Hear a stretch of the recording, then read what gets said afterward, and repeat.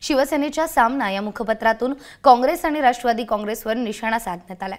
मुख्यमंत्री देवेंद्र फडणवीस यांनीही धुळ्यातील प्रचार सभेत या विधानावरून काँग्रेसवर लक्ष केलं.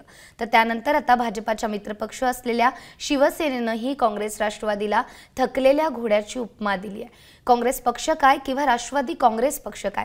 सध्याच्या राजकारणातील थकलेले घोडेच आहेत त्यांच्या घोडेस्वाराची मांड घट्ट राहिलेली नाही. तर निवडणुकीच्या शर्यतीत या दोन्ही घोड्यांवर जॅकपॉट लागत नाही. हे दोन हजार चौदापासून वारंवार सिद्ध झालंय असं शिवसेनेनं म्हटलंय.